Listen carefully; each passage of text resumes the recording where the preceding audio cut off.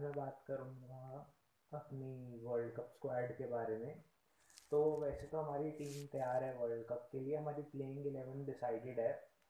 जैसे हमारे लिए ओपनिंग करेंगे रोहित शर्मा, शिखर धवन। नंबर थ्री पर बैटिंग करेंगे विराट कोहली। नंबर फोर पर बैटिंग करेंगे अंबती रायडू। नंबर फाइव पर बैटिंग करेंगे धोनी। नंबर सिक्स पे केदार यादव। केदार यादव एक अच्छे बैटिंग ऑलराउंडर है, जिनसे आप पाँच ओवर तक भी बॉलिंग करवा सकते हैं। बैटिंग में भी अच्छी कंसिस्टेंट परफॉर्मेंस रही है केदार यादव की। उसके बाद नंबर सेवन पे हमारे पास हार्दिक पांड्या है। हार्दिक पांड्या वैसे तो बॉलिंग ऑलराउंडर है। आप आठ ओवर सात ओवर उनको केदार यादव के साथ डलवा सकते हो। बचे हुए जो तीन ओवर हैं, अब आप उनसे डलवाना चाहो तो डलवा लो, वरना आपको केदार यादव के साथ ही जाना पड़ेगा। हार्दिक पांड्या बॉलिंग में तो परफॉर्मेंस कर रहे हैं, पर पिछले एक साल से जो उनको इंजरीज की प्रॉब्लम रही है, इसलिए टीम में ज़्यादा खेले नहीं है।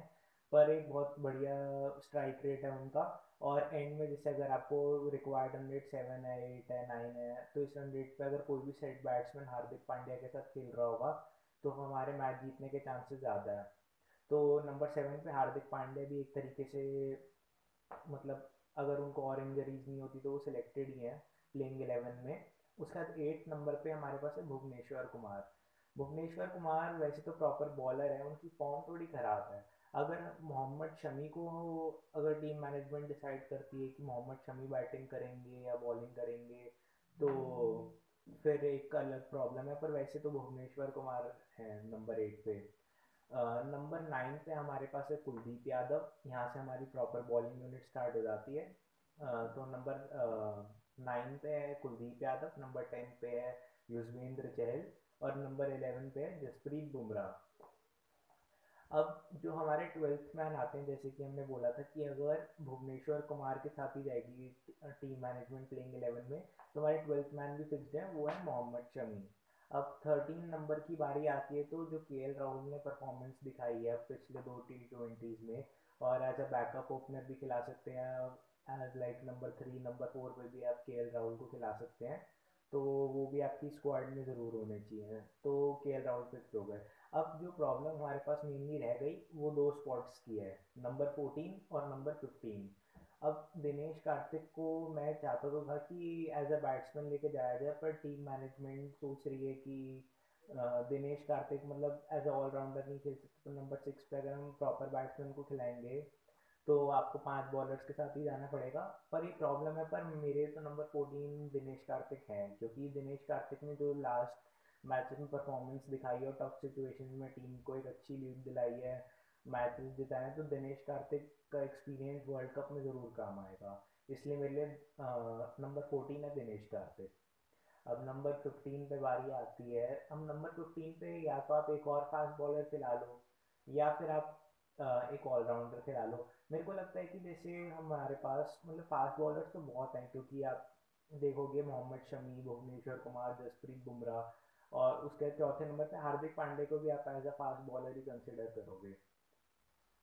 इसलिए नंबर फोर्टीन पे आपने दिनेश कार्तिक को अगर फिक्स किया तो नंबर फिफ्टीन पे जडेजा को आप ज़रूर लेके जाना चाहोगे, क्योंकि आपके पास फिर थर्ड प्रॉपर स्पिनर का एक ऑप्शन आ जाएगा ना केदार यादव चल ज़रूरी नहीं है कि हर मैच में बॉलिंग कराओ।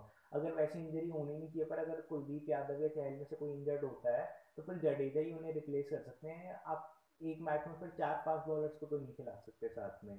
इसलिए जडेजा को आप लेके जाओगे तो आपकी बैटिंग थोड़ी सी स्ट्रांग होगी। फील्डिंग में वो इंडिया के नंबर वन है। फील्डिंग में ऑल ओवर वर्ल्ड में टॉप थ्री में तो जडेजा आते ही आते हैं। उनके रनआउट्स की वजह से इंडिया कई मैच जीता है। थोड़े दिन पहले एक मैच हुआ था, उसमें भी जडेजा ने ज़बरदस्त तरीके से पीटर हैंड्सकोम को रन आउट किया था तो बहुत ज़रूरी हो जाता है जडेजा को अपनी टीम में रखना। एज अ बैकअप फील्डर भी आप अगर उन्हें कई मैचेस में खिलाओगे तो भी आपको फ़ायदा होगा। इसलिए नंबर फिफ्टीन पे मेरे पास है जडेजा। अब विजय शंकर को मैंने स्क्वाड में इसलिए नहीं लिया क्योंकि बॉलिंग उन्होंने इतनी अच्छे से करके दिखाई नहीं है तो as a proper batsman Dinesh Karthik ज़्यादा अच्छा ऑप्शन है। बाकी अगर टीम सोचती है कि दिनेश कार्तिक को लेके जाना ही नहीं है या ऋषभ पंत की परफॉर्मेंस पे भी डाउट है तो फिर नंबर फोर्टीन पे विजय शंकर को लेके जाया जा सकता है। तो वर्ल्ड कप की स्वाइड इतनी डिसाइडेड है, बस थोड़ी प्रॉब्लम जो है वो शिखर धवन और रोहित शर्मा के फॉर्म के साथ है। विराट कोहली तो खैर बहुत अच्छा खेल रहे हैं, अंबती रायडू भी इम्प्रूव कर लेंगे, पर अब मेन दिक्कत हमारे ओपनर्स के साथ है, शिखर धवन और रोहित शर्मा। रोहित शर्मा की फॉर्म आने में कैसे, कितना टाइम लगेगा, कितने मैचेस बचे आईपीएल का उस पर कुछ इफ़ेक्ट होगा, नहीं होगा? शिखर धवन अच्छे प्लेयर है, मेरे को लगता है कि जैसे जितने भी टूर्नामेंट्स होते हैं, जिसमें तीन से ज़्यादा कंट्रीज़ खेल रही होती हैं तो फिर इंडिया के नंबर वन बैट्समैन बन जाते हैं शिखर धवन। उनकी एवरेज सिक्सटी फाइव से ऊपर हो जाती है। बहुत अलग बात है ये। अब देख लो एशिया कप पिछले वर्ल्ड कप 2015 हर एक में man of the series man of the match इतने सारे जीते हैं। तो इसलिए इंडिया को ऐसे कोई सोचने की बहुत ज़्यादा प्रॉब्लम नहीं है। हमारी बॉलिंग यूनिट भी बहुत अच्छी है। तो मेरे को लगता है कि इंडिया वर्ल्ड कप के फाइनल तक पहुँच सकती है। इंग्लैंड की परफॉर्मेंस पे डिपेंड करता है कि वर्ल्ड कप जीतेंगे नहीं जीतेंगे। ये वर्ल्ड कप जीतने के चांसेस इंग्लैंड के पास थोड़े ज़्यादा है इंडिया से, क्योंकि उनकी होम कंट्री भी है थ्री फिफ्टी प्लस स्कोर्स लगा रहे हैं। पर उनकी बॉलिंग इतनी अच्छी नहीं है जितनी इंडिया की है। तो मेरे ख्याल से फाइनल्स तक इंडिया और इंग्लैंड ज़रूर पहुँचेंगे। उसके बाद जो लास्ट मैच होगा वो बहुत इंटरेस्टिंग रहेगा।